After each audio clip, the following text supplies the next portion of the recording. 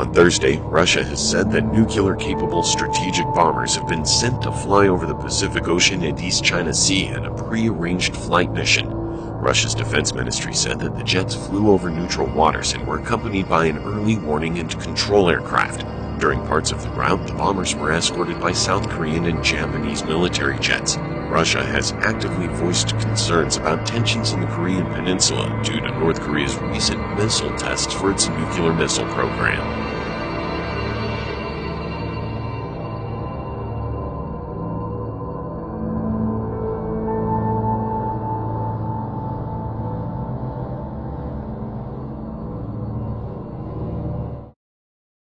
As far as nuclear is concerned, this country, us, we need a shield because Russia's unstable. A strategic North Korea's defense unstable. We need a missile defense shield. And if we don't have one, and if we don't start develop, and now, you know, people used to criticize Reagan. The fact is now it's very developable, and we need a shield.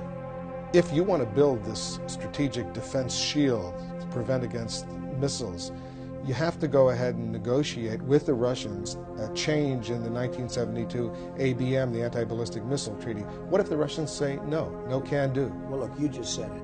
A change in 1972. A treaty that was made in 1972, who knew what was going to happen in terms of technology? It's time for a change, and we have to sit down with the Russians and many others. Look at North Korea. North Korea is developing missiles like nobody has ever seen. And we better do something rather quickly with them, hopefully through negotiation. But we better do something rather quickly with them. Russia. What if, on, the North Korean front, what if the North Koreans don't play ball, develop uh, a nuclear capability, go forward with their missile development?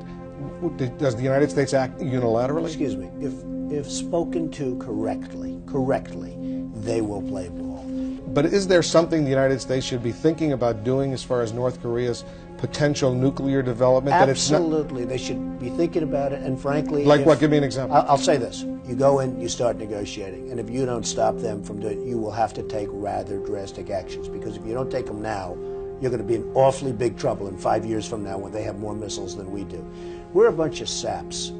There's no question that North Korea is developing missiles. We give them nuclear power plants. We give them tremendous aid because we thought we could bribe them into stop develop. Well, they're developing so much so that South Korea is now developing their own missile systems in order to protect. And I'm, almost, I'm, I'm really not sure I can blame them. But North Korea is totally out of control. And would you rather have a very, very serious chat with them now? And if necessary, you might have to do something fairly drastic. Or would you rather have to go after them in five years when they have more nuclear warheads and missiles than we do? when you say something fairly drastic, that sounds like you're suggesting a potential Israeli-like uh, unilateral strike against the Osirak reactor in Iraq in the uh, in the 80s. You can never rule it out. What Israel did was fantastic, and you can never rule it out. And you know what? If you ruled it out, you couldn't talk to them. Why would they? The only thing they're afraid of is exactly what you just said. That's what they're afraid of. That's what they're concerned with. You'll most likely, with that attitude, be able to make a deal. But if you can't, you have to react. And let me tell you something. Don't react in five years, because if you react in five years, nothing's going to be left. You don't have to worry about your Social Security system anymore. A short time ago, an American airplane dropped one bomb on Hiroshima and destroyed its usefulness to the enemy. That bomb has more power than 20,000 tons of TNT. The Japanese began the war from the air at Pearl Harbor. They have been repaid manyfold, and the end is not yet. With this bomb, we have now added a new and revolutionary increase in destruction to supplement the growing power of our armed forces. In their present form, these bombs are now in production, and even more powerful forms are in development. It is an atomic bomb. It is a harnessing of the basic power of the universe. The force from which the sun draws its power has been loosed against those who brought war to the Far East. We have spent more than $2 billion on the greatest scientific gamble in history, and we have won. But the greatest marvel is not the size of the enterprise, its secrecy, or its cost. but the achievement of scientific brains in making it work.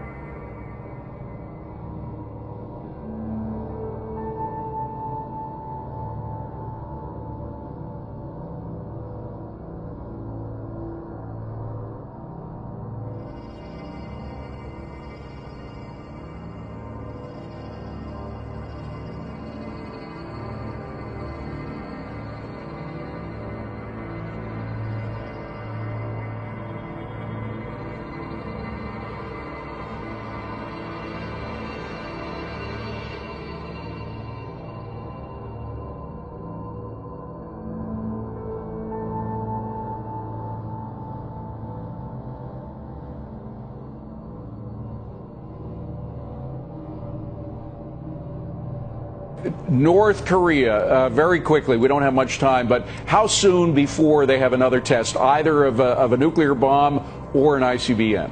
I think they can test almost at any time. Uh, I don't think there's any reason to think that the absence of testing activity shows a political decision to try and come closer to us. I don't think they're uh, in fear of us yet. I don't think they respect us. Mm. And I don't think there's any point in negotiating with them.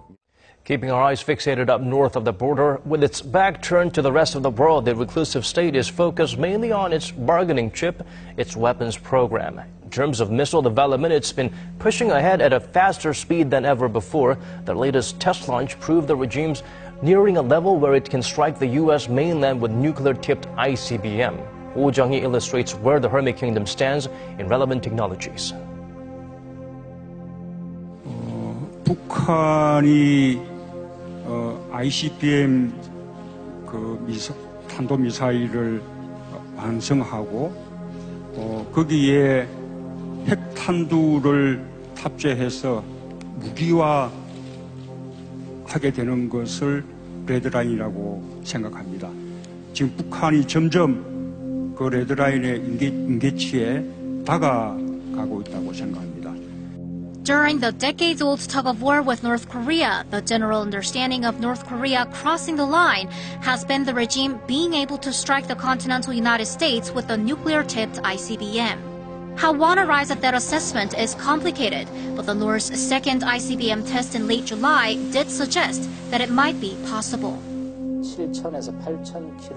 North Korea has shown us that its missile can fly up to 7 or 8,000 kilometers if launched on a flatter trajectory that can reach the western coast of America. Pyongyang's final destination is Washington, the center of the US mainland. To make that happen, there are two crucial technologies Pyongyang needs to develop. First, having a light enough nuclear warhead or strong enough engine to reach long distance targets. And second, having the missile successfully re enter the atmosphere. Far has North Korea come in these two technologies, and what's the international community's assessment? To increase the missile's airborne distance, the nuclear warhead has to be as small and light as possible. According to the US-based Washington Post, a confidential US Defense Intelligence Agency analysis early this month suggested that Pyongyang has produced a miniaturized nuclear warhead. Japan's defense white paper also wrote the North may have miniaturized nuclear warheads. The ideal weight of a nuclear warhead designed for an ICBM is generally seen to be around the 500 kilogram range. But even if the warhead isn't at the ideal weight, experts say if the engine's strong enough, Pyongyang's missile can reach long-distance targets. 북한이 지금 if the North can fire its missile to the US with its current engine, that means the North has lightened its warhead enough. I've conducted a virtual simulation after the recent launches. The North's missile can carry a 700 kilogram nuclear warhead to the US with the engine it has now.